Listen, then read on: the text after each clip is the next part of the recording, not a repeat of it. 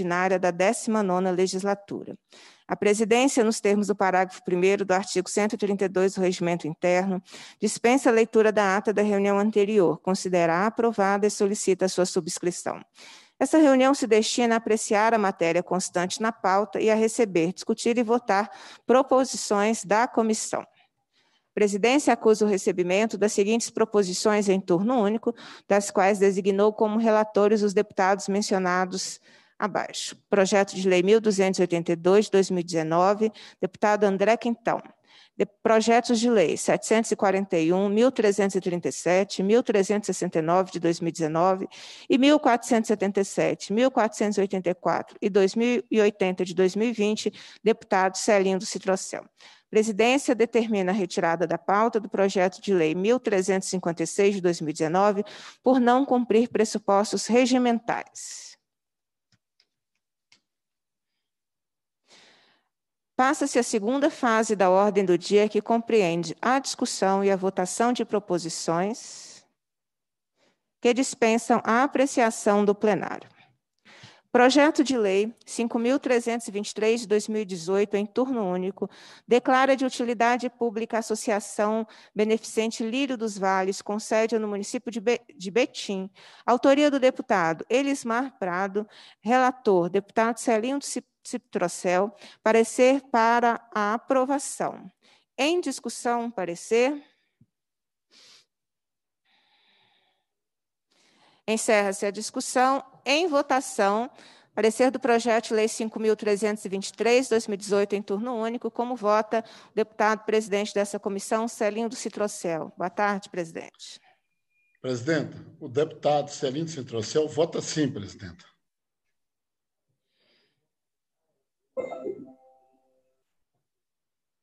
Presidenta, está me ouvindo? Agora sim. Presidenta, o deputado Celinho Citrocel vota sim. Obrigada. Como vota o deputado Betão?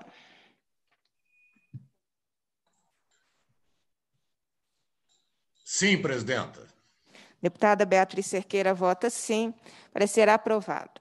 Projeto de Lei 457 de 2019, em turno único, declara de utilidade pública a Associação Comunitária dos Moradores de Coqueiros e Adjacências, com sede no município de Jequitibá de autoria do deputado Douglas Melo, relatoria deputada Marília Campos, com parecer pela aprovação. Em discussão, parecer.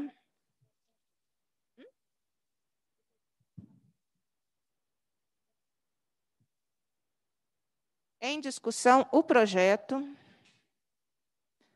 Encerra-se a discussão. Em votação, o projeto de lei 457 de 2019, em turno único, como voto o deputado Celinho do Citrocel. Presidente, o deputado Celinho vota sim. Como vota o deputado Betão? Voto sim, presidente. Deputada Beatriz Cerqueira vota sim. Projeto aprovado. Projeto de lei 572 de 2019 em turno único, declara de utilidade pública a Associação dos Moradores e Amigos do Bairro Alecrim, com sede no município de Pedralva, de autoria do deputado Duarte Bexi, relator, deputado Celinho Citrocel, parecer pela aprovação. Em discussão o projeto. Encerra-se a discussão em votação. Como voto o deputado Celinho do Citrocel. Presidenta, o deputado Celinho vota sim no projeto de lei 572. Obrigada, deputado. Como vota o deputado Betão? Voto sim, presidenta. Obrigada, deputado. Beatriz Cerqueira vota sim. Projeto aprovado. Projeto de lei 741 de 2019, em turno único, declara de utilidade pública a Associação Vale em Ação, AVA, com sede no município de Campo Belo, de autoria do deputado Mário Henrique Caixa. Relator, deputado Celinho do Citrocel. Parecer pela aprovação com a emenda 1 da Comissão de Constituição e Justiça. Em discussão. Em discussão, projeto, em discussão, projeto, emenda. Encerra-se a discussão. Em votação, o projeto, salvo emenda, como voto o deputado Celinho do Citrocel. Deputado Celinho do Citrocel vota sim ao projeto de lei 741. Como voto, deputado Betão. Voto sim, presidenta. Deputada Beatriz Cerqueira vota sim.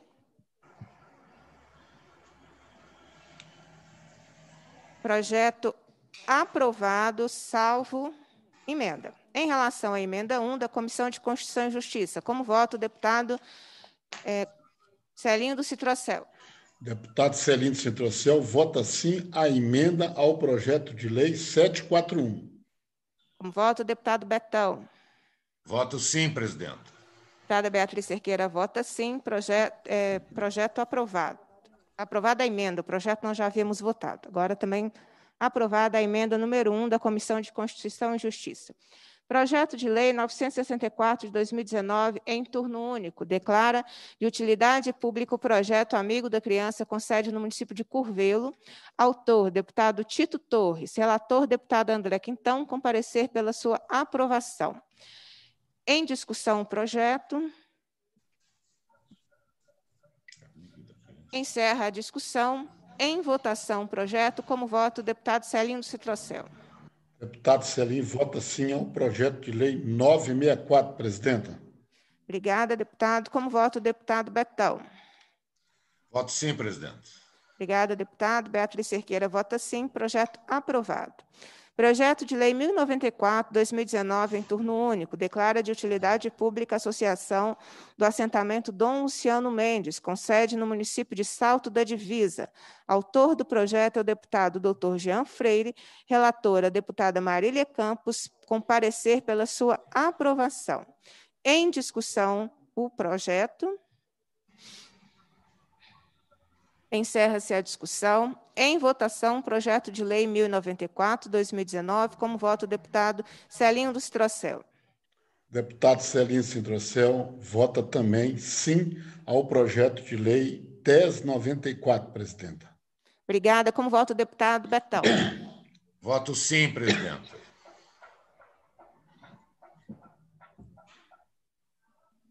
Deputada Beatriz Cerqueira também vota sim. Projeto aprovado. Projeto de Lei 1282 de 2019, em turno único, declara de utilidade, declara de utilidade pública AG, AJHO.org, com sede no município de Belo Horizonte. Autoria, deputado Serinho do Citrocel. Relator, deputado André Quintão, parecer pela sua aprovação. Em discussão, o projeto.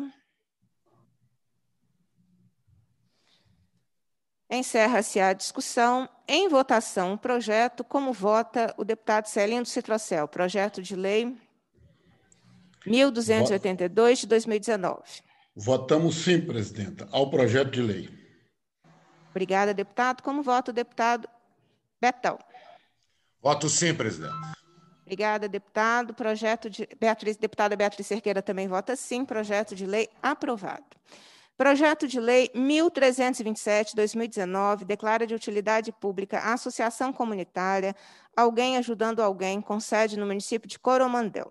De autoria do deputado Léo Portela, relatora é a deputada Marília Campos, parecer pela sua aprovação. Em discussão, o um projeto.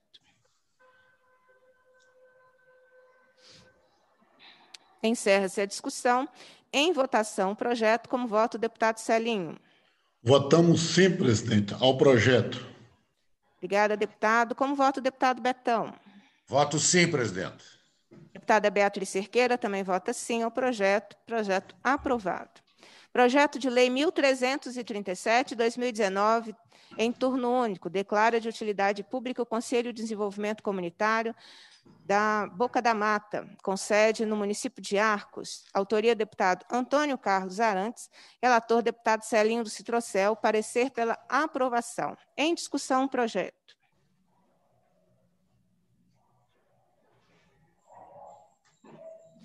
Encerra-se a discussão. Em votação, projeto de lei 1337 2019. Como voto o deputado Celinho do Citrocel. Votamos sim, presidente, ao projeto 1337. Obrigada, deputado. Como voto o deputado Betão. Voto sim, presidente. Obrigada, deputado. Deputada Beatriz Cerqueira também vota sim. Projeto de lei 1337 aprovado.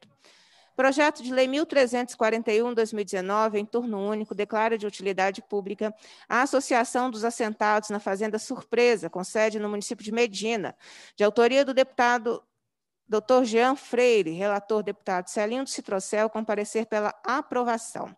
Em discussão, o projeto.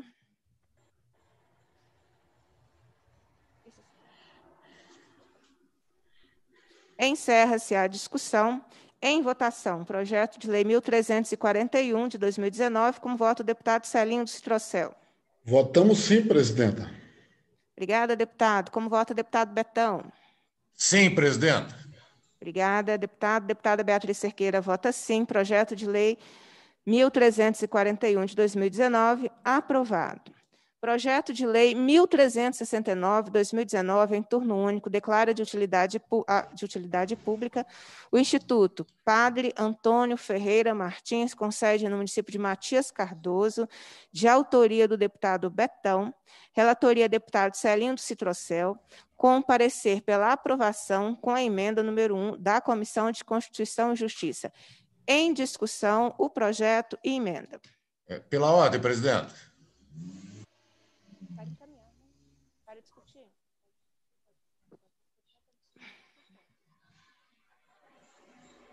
Seria para discutir, deputado Betão? É só uma correção. O município é Matias Barbosa. É Matias Barbosa, eu que fiz a leitura errada, deputado. Tá, Obrigada ok. pela correção. Continua em discussão.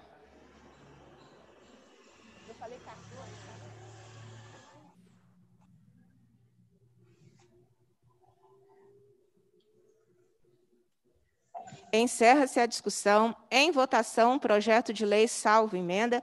Como voto o deputado Celinho Citrocel. Votamos sim, presidenta. Obrigada. Como voto o deputado Betão. Sim, presidente. Deputada Beatriz Cerqueira vota sim. Projeto de lei aprovado. Em votação, a emenda número 1 da Comissão de Constituição e Justiça. Como voto o deputado Celinho Citrocel. Votamos sim, presidenta. Como vota o deputado Betão. Sim, presidente. Deputada Beatriz Cerqueira também vota sim. Emenda aprovada. Projeto de Lei 1477-2020, em turno único, declara de utilidade pública a Associação Grupamento Noiva do Cordeiro, com sede no município de Piedade dos Gerais. De autoria do deputado André Quintão, relatoria deputado Celinho Citrocel. Parecer pela sua aprovação. Em discussão, o projeto. Encerra-se a discussão. Em votação, o projeto de lei 1477, em primeiro tur turno único, desculpa, turno único, como voto o deputado Celinho Citrocel. Votamos sim. Obrigada, deputado. Como voto o deputado Betão. Voto sim, presidente. Deputada Beatriz Cerqueira também vota sim. Projeto de lei aprovado. Projeto de lei 1484 de 2020, em turno único, declara de utilidade pública a Associação Comunitária do Bairro Conquista, com sede no município de Governador Valadares. De autoria do deputado João Leite, relator deputado Celinho Citrocel, parecer pela aprovação com a emenda número 1 da Comissão de Constituição e Justiça. Em discussão, projeto e emenda.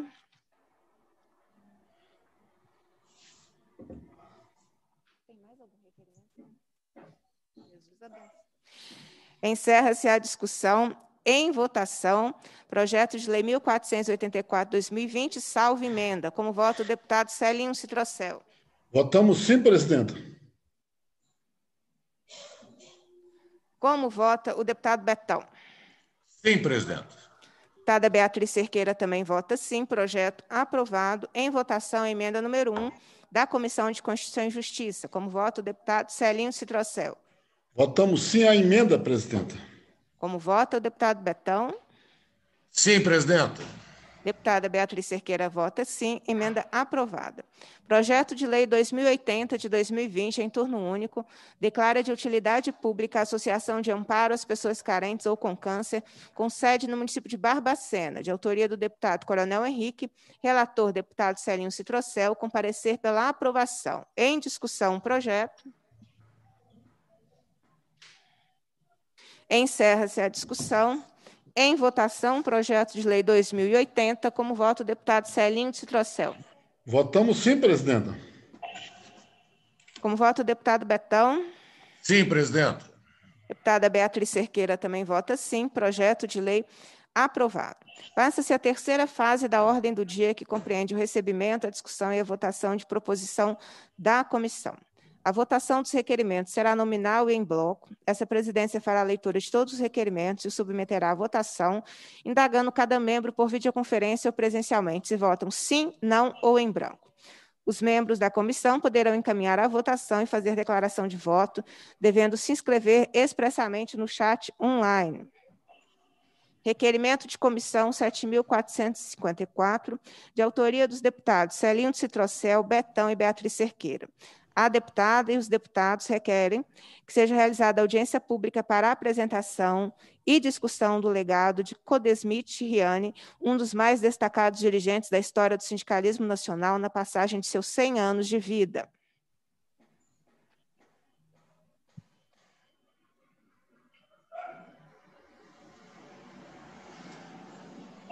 Requerimento de autoria do deputado André Quintal. Deputado que subscreve requer que seja encaminhado ao secretário de Estado de Governo pedido de informações referente ao repasse de valores da Vale S.A. ao governo de Minas para a contratação de profissionais que vão executar e monitorar projetos sociais e ambientais em áreas impactadas pelo rompimento das barragens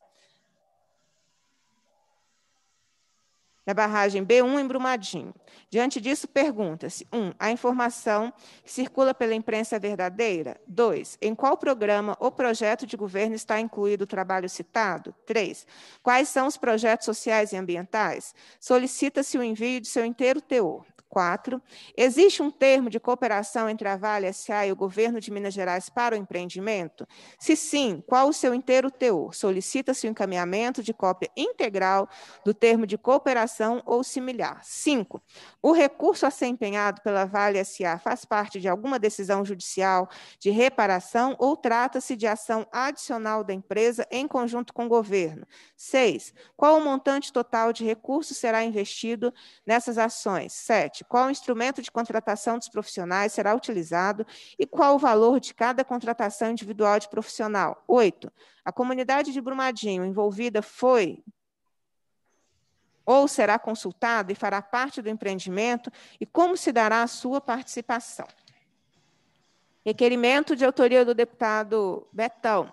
Deputado que subscreve, que requer que seja encaminhado ao diretor-presidente da Companhia de Saneamento de Minas Gerais pedido de informações sobre quantos empregos são gerados pela Copasa diretamente, quando faz investimento da ordem de um milhão de reais em obras de construção de estações de tratamento e redes de coleta e distribuição de água e esgoto pelo Estado de Minas Gerais.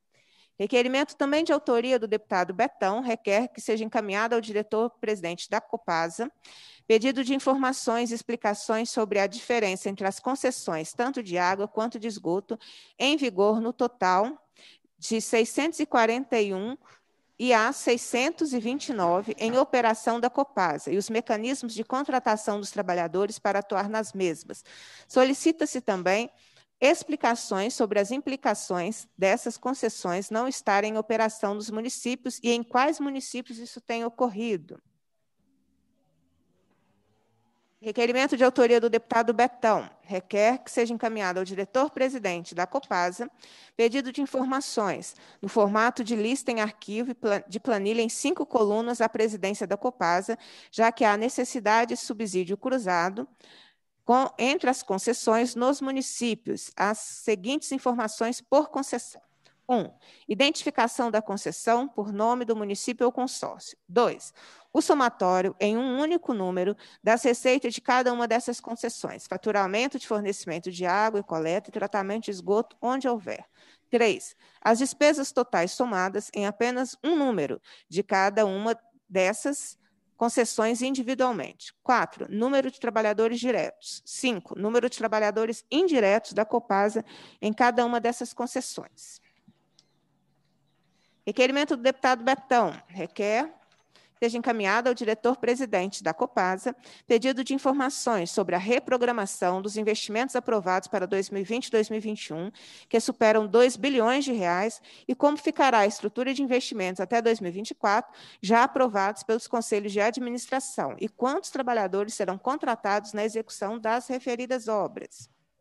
Requerimento de autoria do deputado Betão requer que seja encaminhado ao diretor-presidente da Copasa pedido de informações sobre quanto dos lucros serão retidos para reinvestimentos em obras e equipamentos a serem realizados pelo Copasa e quantos empregos diretos e indiretos serão gerados pela empresa, além de requerer sobre onde serão realizados os mesmos, dado que programação de distribuição de dividendos para os três primeiros trimestres de 2020 já superam 150 milhões de reais e que a programação de investimentos encontra-se atrasada para o calendário do referido ano. Requerimento do deputado Celinho Citrocel requer que seja realizado debate público sobre o combate ao desemprego e a retomada do desenvolvimento econômico e social do Estado.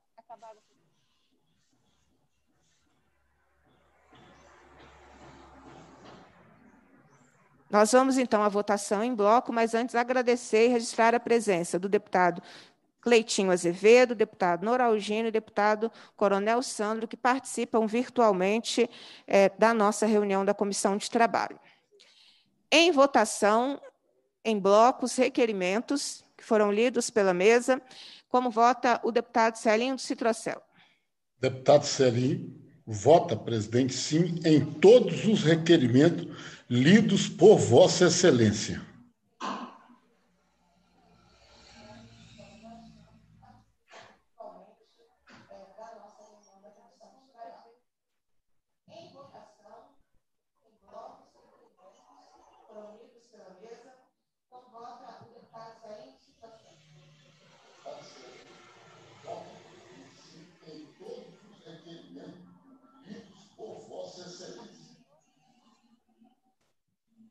Como voto, o deputado Betão. Voto sim para todos os requerimentos, presidente. Deputada Beatriz Cerqueira também vota sim para todos os requerimentos que foram apresentados. Aprovados os requerimentos, eu consulto o deputado Celinho, deputado Betão, posso fazer o encerramento da reunião. Sim. Com a palavra, o deputado Celinho Citrocel.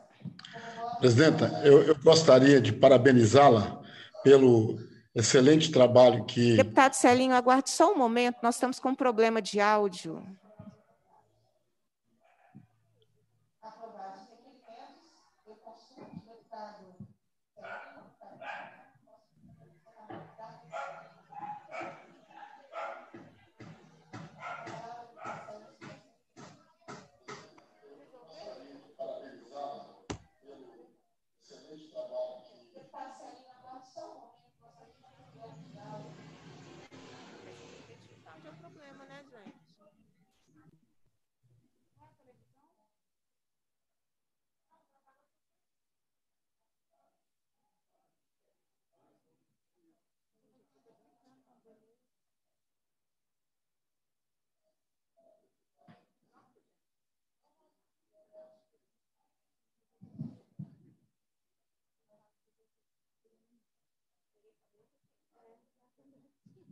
Vamos sentar novamente com a palavra o deputado Celinho Citrocel. Presidenta, me escuta? Sim. Presidenta, é, eu gostaria aqui de parabenizá-la pela belíssima condução que Vossa Excelência tem dado aos trabalhos dessa presidência, dessa comissão. E ser aqui o mensageiro de uma, de uma mensagem de um dos eleitores de Vossa Excelência aqui no Vale do Aço. Ontem, no Dia das Crianças, dia de Nossa Senhora Aparecida, o, o, o servidor público Souza, da Polícia Militar de Minas Gerais, parabenizou a senhora em público pelo trabalho aguerrido, pelo trabalho autêntico, pelo trabalho de representante da nossa sociedade mineira e do povo trabalhador e do servidor de Minas. Mas Estou aqui sendo porta-voz das palavras dele ontem sobre o seu mandato, mas deixo aqui os meus parabéns também. Tá ok, presidente?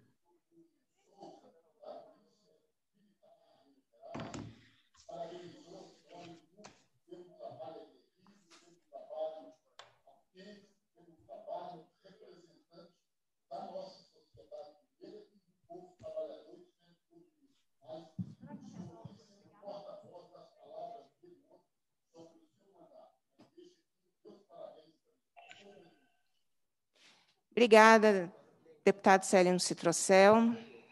Gentileza, é, uma gentileza, perdi as palavras. Podemos encerrar?